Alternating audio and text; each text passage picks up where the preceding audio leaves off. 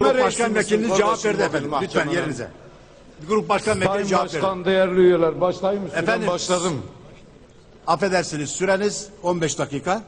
Buyurun Sayın efendim. İnce nasıl olsa bir daha konuşmayacağım dedi. Bu sözünü hatırlatarak deve eşek metaforuna bir katkıda bulunmak istiyorum. Devede de boy var ama kırkı birden bir eşeğin arkasından giderler.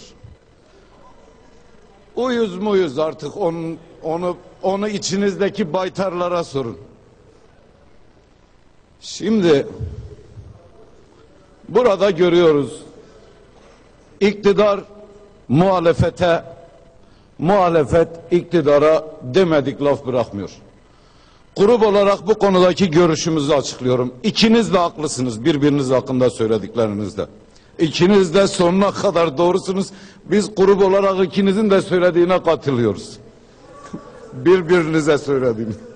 Bize söylediğine şimdi cevap vereceğim. Bize yanıldığınız nokta şurası. CHP'liler hele durun hele. Bildiğiniz yanıldığınıza yetmiyor. Siz bunu, siz bunu ben şimdi size bir sosyoloji dersi vereceğim kafanız berraklaşacak. Buna denir statüko. O zaman CHP vardı, tek parti vardı, Bayar içindeydi, Menderes dışındaydı, Kel Ali vardı, Kör Ali vardı. Bunlarla sosyoloji yürümez. Bunun adı statükodur. O gün CHP vardı, bugünkü CHP'nin adı neo Kemalist bir parti olarak AK Parti iktidarıdır. Buna denir statüko. Siz bunu kavramsallaştırmadığınız zaman birbirinize ha böyle laf atar durursunuz. Şimdi ya biz şerbetliyiz Sayın Canikli. Bize söylesinler sadece söylemekle kalsa iyi. Gülden yumuşak. Bize bize yapılan başka şeyler var. Onları dile getireceğim. Tıraş oldum evet.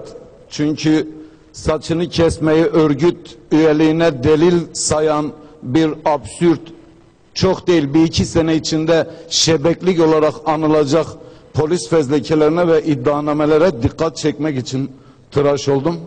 Senin pek ihtiyacın da yok. Allah tarafından tıraş edilmişsin sen. Şimdi darbeciler kurmuş da ondan bu kadar basit.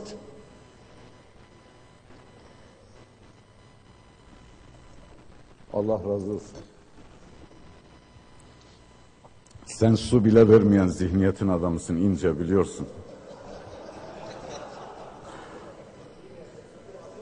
Ben onun niyetini biliyorum sen. Sataşma var evet ama baktım baktım hele baktım hele peki e, sözümü geri alıyorum tamam. Su gibi aziz ol tamam.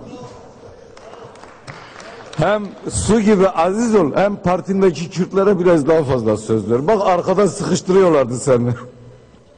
Bundan söz alabilirsin. Şimdi seninle yan yana durmayı içime sindiremedim o yüzden boykot dedim Sayın İnce.